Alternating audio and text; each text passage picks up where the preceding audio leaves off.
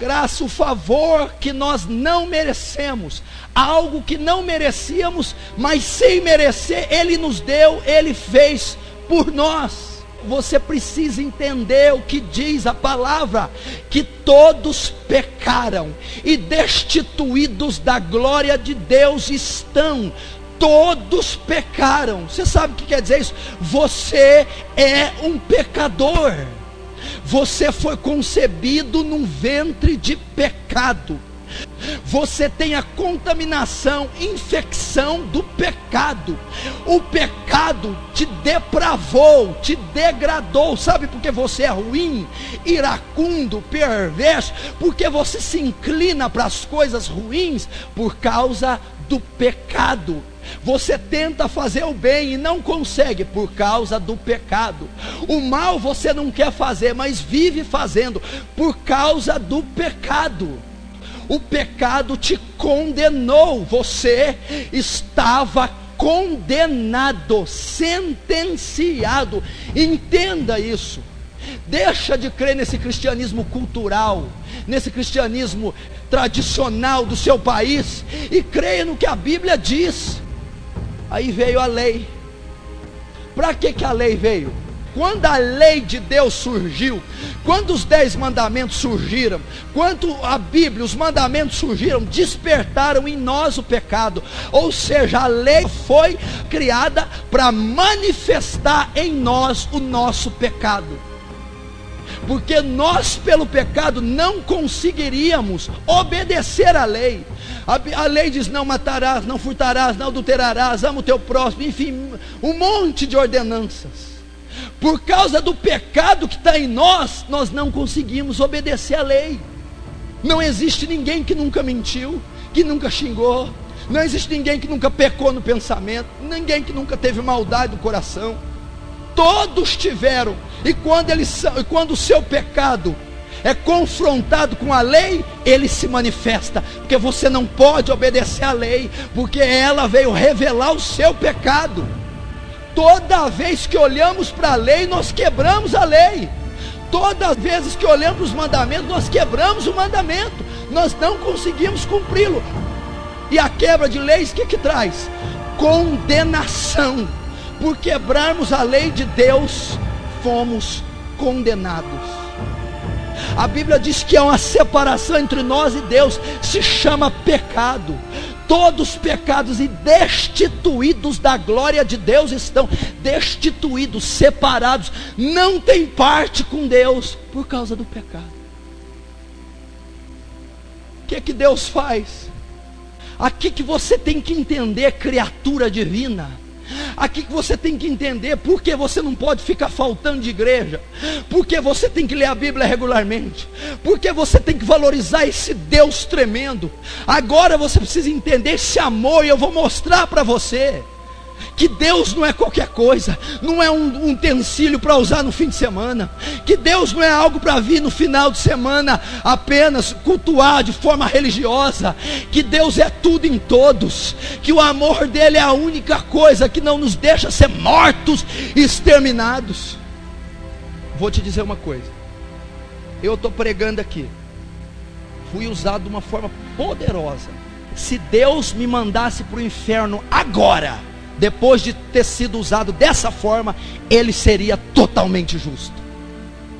Se ele me mandasse para o inferno agora, do jeito que eu estou, depois de pregar aqui nessa ceia, ele não deixaria de ser justo, porque eu mereço o inferno.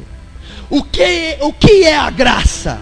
Eu, ainda eu merecendo o inferno, ele vem e paga o preço por esses pecados meus, transgressões, ainda eu estando errado, culpado, ele diz: você está culpado, errado, você fez por merecer, você merece o inferno, mas mesmo assim eu vou te absolver, e o preço que era para você pagar, meu filho paga no teu lugar, isso é graça. O que é a graça? O favor imerecido. Eu não mereço ir para o céu. Eu não mereço ser salvo, mas Ele ainda assim salva. para você ter acesso à salvação, à vida eterna, ao Espírito Santo, alguém teve que pagar o preço no seu lugar. Jesus morrendo na cruz. A ira de Deus que era para cair sobre você, caiu sobre Jesus. A condenação que era para vir sobre você, veio sobre Jesus. O preço que você deveria pagar, Jesus pagou em seu lugar. Ele morreu a nossa morte para que nós vivêssemos a sua vida.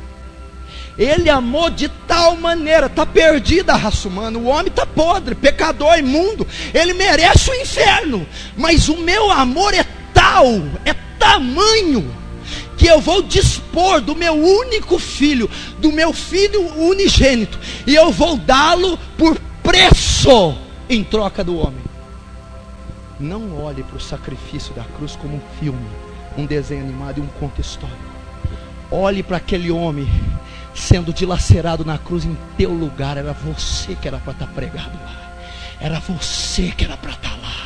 Ele desceu ao inferno, era você que tinha que descer. Ele foi escarnecido, era você que tinha que ser escarnecido. Ele foi transpassado, era você que tinha que ter sido transpassado. A ira veio sobre ele, era para vir sobre você. Você está entendendo o que, que Deus está querendo dizer? A minha graça te basta. Senhor cura? Não. Senhor liberta? Não. Senhor dá carro? Não. Senhor faz qualquer coisa? Não. Por quê? Porque a minha graça vos basta. O que, que ele está querendo dizer? Só o fato de eu não ter consumido vocês com a minha ira te basta. Só o fato de eu ter cancelado todos os seus pecados te bastam. Só o fato de eu dar o meu filho para morrer no lugar de vocês basta. Eu não necessito fazer mais nada. Só o fato de eu ter comprado a ressurreição de vocês, ter escrito o vosso nome no livro da vida, te basta. Onde abundou o pecado, superabundou a graça. Como que o pecado abundou? Quando a lei foi revelada, o pecado generalizou, abundou todo mundo se fez pecador quando a lei foi manifestada. Você, quando se confronta com a palavra de Deus, você vê quão pecador você é, quão merecedor do inferno. Agora, olha mais uma vez, quem é esse Deus?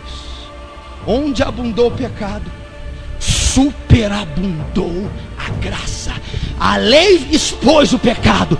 Veio Jesus e abundou em graça. Por quê?